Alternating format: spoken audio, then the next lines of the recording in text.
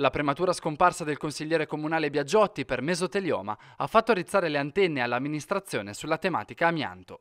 La sua resistenza al calore ha fatto sì che questo materiale venisse utilizzato in maniera spropositata dalle aziende fino ai primi anni 90, quando poi la sua produzione divenne fuori legge in Italia nel 1992. La nocività per la salute dell'uomo di queste fibre, se inalate, è stata accertata per aver generato nel corso del tempo la formazione di gravi patologie.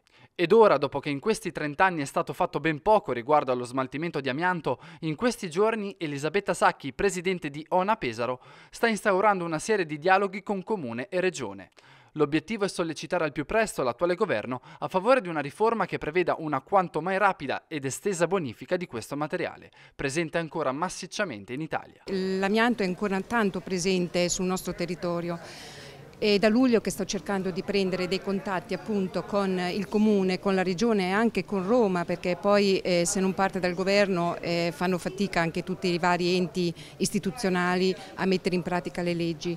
Eh, si è aperto questo dialogo con il Comune e abbiamo pianificato delle azioni più urgenti da mettere subito in pratica e sto aspettando un incontro con la Regione che ho, da, cioè che ho scritto anche loro da luglio per poter attuare anche con loro eh, le leggi che ci sono in vigore. Noi abbiamo il decreto 101 dove dice del 2003 che era la Regione che doveva fare la mappatura e che ogni anno entro il 30 di giugno dovevano trasmettere all'Ufficio Ambiente di Roma la situazione della Regione. Dal 2003 ad oggi non è mai stato fatto e quindi sto cercando di mettere in moto ecco, questa mancanza che c'è stata in tutti questi vent'anni di, di tempo. Naturalmente abbiamo visto che ci sono dei segnali positivi anche da Roma con il senatore Turco che ha presentato un disegno di legge per bonifiche amianto sia degli edifici pubblici che dei privati.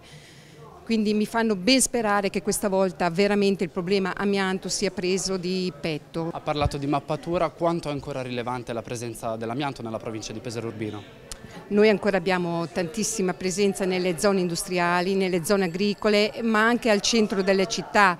Eh, abbiamo fatto diverse segnalazioni ehm, di presenza di amianto che ci arrivano dai cittadini, perché adesso l'importante per mettere in sicurezza ehm, i nostri luoghi di vita è vedere che non ci sia il rilascio di fibre, quindi bisogna assolutamente controllare queste tettoie che come ho detto prima persino al centro della città in via Branca ci sono, quindi ehm, dobbiamo assolutamente eh, far controllare che non ci sia il rilascio. Purtroppo sapete tutti il problema amianto perché c'è, c'è perché non ci sono i fondi, non ci sono i soldi, anche per le famiglie stesse è una spesa un po' insostenibile, quindi se non arrivano da Roma, dalla Regione ma anche dal Comune ehm, dei bandi per cui accedere, per cui aiutare sia le famiglie ma anche gli imprenditori a mettere in sicurezza i luoghi di vita facciamo difficoltà. Ecco, mh, chiedo anche ecco, i proprietari di questi manufatti in amianto eh, di farli controllare, di veramente che mh, non ci sia questo rilascio. Ci sono vari metodi, noi siamo a disposizione come associazione. Attualmente sono 6.000 le morti all'anno in Italia per via dell'inalazione di queste fibre.